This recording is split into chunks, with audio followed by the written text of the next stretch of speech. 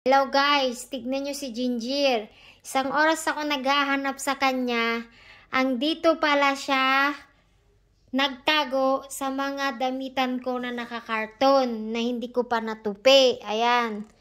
Ayun pala nandyan siya. Tingnan nyo ba naman ang ginawa niya? Hilong-hilo na ako sa kakahanap. Andito lang pala siya. Ginger! Ginger! Kaya pala nananahimik siya, hindi na siya nagtatatakbo. Ito na naman ang ganap niya, guys. Mga kaibigan, ito ang ganap niya. O, tingnan nyo. Ang sarap. Hindi ko pa natupi yung mga sinampay ko. Andiyan pala siya. Oh, ayan, oh. Ang dito pala siya. Ayan ang ganap niya. Matalino talaga si Ginger. Ginger! Psst, Ginger! Tingnan nyo, nagtago talaga siya, oh. Inano niya yung kalahati ng katawan niya. Dun sa mga tupiin ko. Ayan siya. Hay, nako, Ginger. Ginger! Ginger! Hmm, napikit pa rin kahit tawagin. Oh, oh. Ginger, sarap tulog mo dyan. Kaya pala isang oras na ako naghahanap sa'yo, ha. Dito ka pala sa mga ligpitin ko. Kola ka, Bod. Tingnan mo. Talaga ng muka. Ay, sus, Ginger.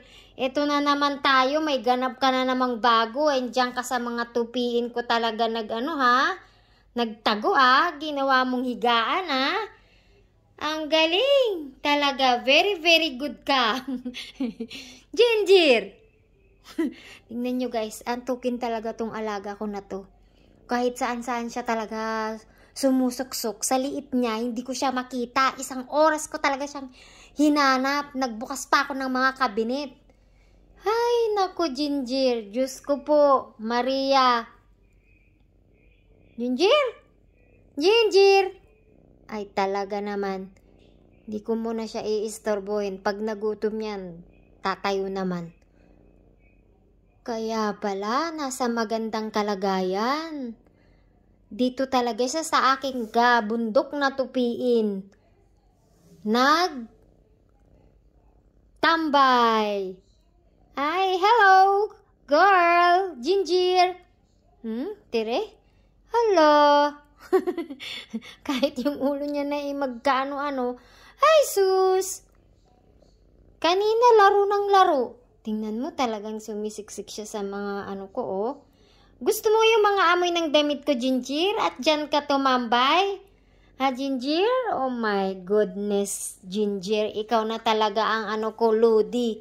Ludi Pet, mat, pet Malu. Ikaw na talaga si Pet Malu. Ginger! Ay sus, talaga lang. Isang oras ko siyang hinanap, guys. Hindi ko makita-kita. Okay guys, hindi na natin iistorbohin si Ginger kay nasa maganda siyang kalag kalagayan at lalagyan. Bye guys! Ito po ang ganap ni Ginger ngayon. Flex ko lang ulit. Thank you!